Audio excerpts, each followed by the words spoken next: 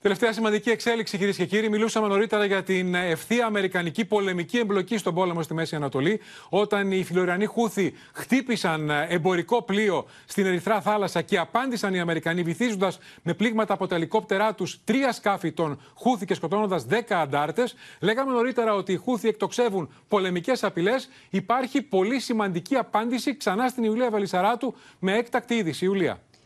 Πριν από λίγο οι Sunday Times α, έγραψαν ότι τόσο η Βρετανία όσο οι ΗΠΑ προετοιμάζουν πολύ μεγάλο ναι. πλήγμα εναντίον των Χούθη ή των βάσεων που έχουν οι φιλοριανοί αντάρτες σε διάφορα σημεία του κόσμου. Μάλιστα, υπάρχει πληροφορία ότι ο Ντέβιτ Κάμερον επικοινώνησε με τον Ιρανό ομολογό του για να του γνωστοποιήσει ότι αν δεν ανοίξει την Ερυθρά θάλασσα, τότε το πέρασμα από εκεί, τότε το πλήγμα θα γίνει και τις επόμενες 48 ώρες. Καταλαβαίνουμε λοιπόν ότι είναι αγδαίε οι εξελίξεις και αν αυτό συμβεί, θα είναι η πρώτη ουσιαστικά α, επίθεση εναντίον των Ιρανών Χούθη από Βρετανία, ΗΠΑ και ίσως άλλη μια χώρα, Νίκο, που δεν διευκρινίζεται. Ναι, και αν συνυπολογίσουμε ότι οι Χούθη νωρίτερα απάντησαν, όταν λέμε Χούθη, εμένη, είναι το μακρύ χέρι της Τεχεράνης, Ιράν δηλαδή. Ακριβώς. Ότι θα α, απαντήσουν με πολεμική επίθεση κατά των ΗΠΑ και οι Αμερικανοί με τους Βρετανούς ετοιμάζονται να χτυπήσουν τους Χούθη. Καταλαβαίνουμε τι φωτιά βάζει στην ευρύτερη περιοχή αυτή η εξέλιξη. Λίγες ώρες πριν αποχαιρετήσουμε